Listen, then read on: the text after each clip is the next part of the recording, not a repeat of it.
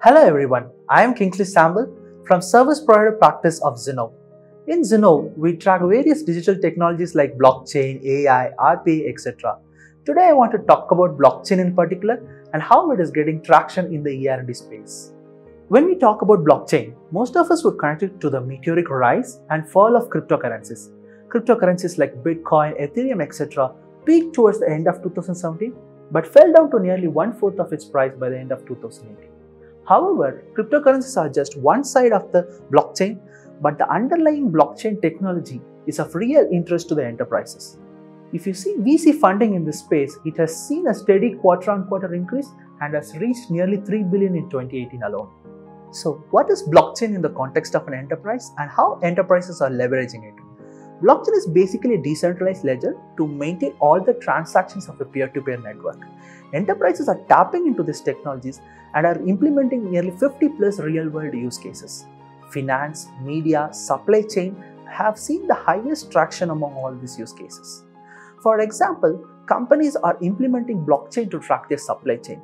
The blockchain technology keeps track of the supplier details, batch details, and timestamp in an immutable ledger which ensures that the supplier are held accountable for their quality.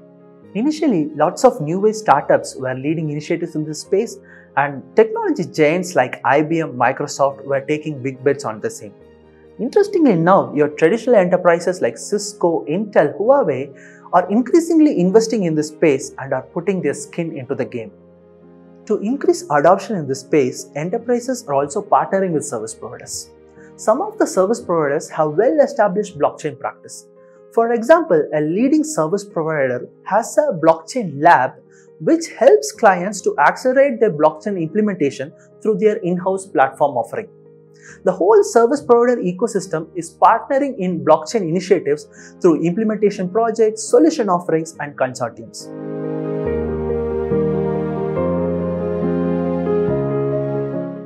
So, if you are an enterprise who hasn't tapped into the blockchain ecosystem yet, where should you start?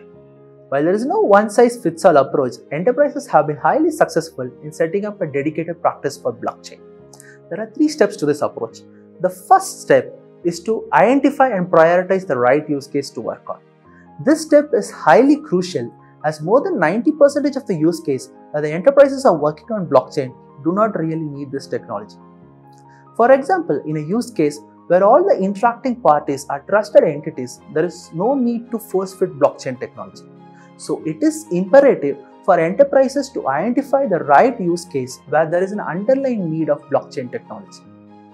The second step is to identify the talent hotspots for blockchain technology and finalize the right location by looking at the resource availability and resource cost. This needs to be viewed from a lens of opportunity cost. So, once you identify the right use case and location, the third and final step is to set up a blockchain center of excellence. Based on the investment capacity, there are multiple ways to go about it. It could be a dedicated investment into a COE or a cost-effective approach of setting up an ODC with service provider. Or it could be a hybrid option which offers the best of both worlds. In a nutshell, blockchain technology is here to stay and has a crucial role to play in the ER&D space. It is high time that enterprises latch on to this technology before they miss the boat.